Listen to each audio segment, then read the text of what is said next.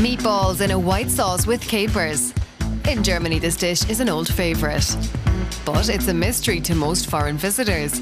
From pictures, they try to pronounce its name and make out what exactly they're seeing in the photo.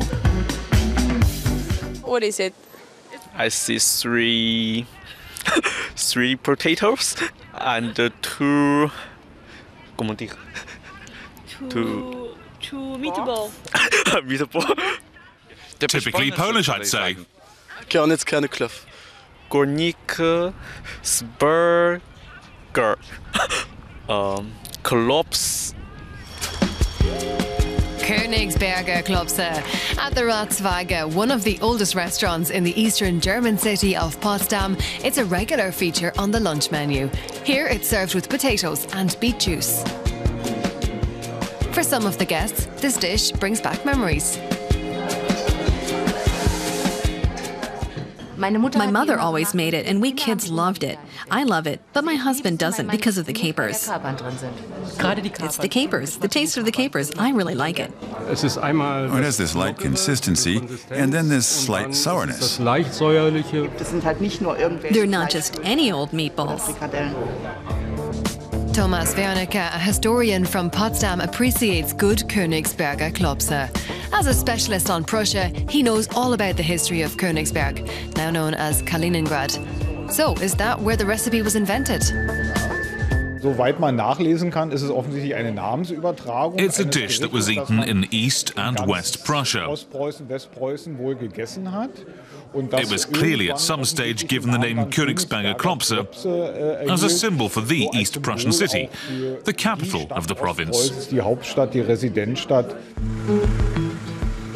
Königsberg became Kaliningrad after World War II and is now inside a Russian exclave of the same name between Poland and Lithuania.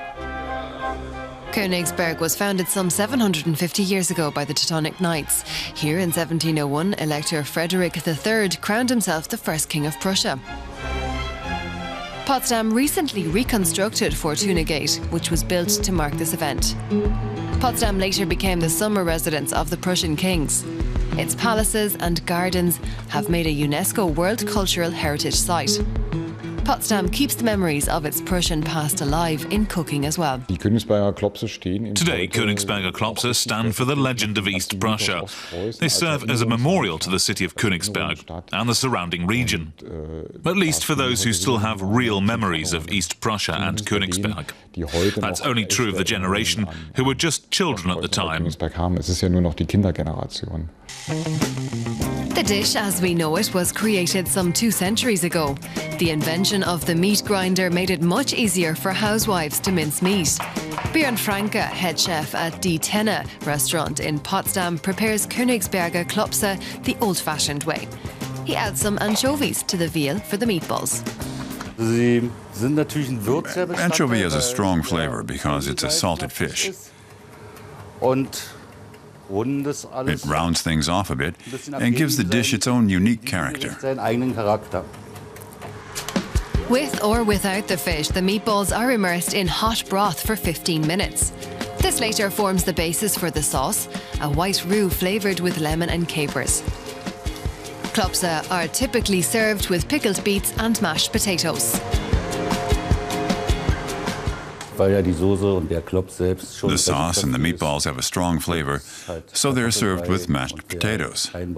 People who don't want that can get it with regular boiled potatoes to make it even more harmonious. The beets add an earthy touch, and they round off the dish. Many Germans think of Königsberger Klopse as typical cafeteria food, but the dish is also served up in gourmet restaurants and at state dinners. US President Barack Obama gave it a try during his visit to Berlin last summer, but what he thought of it appears to be a state secret.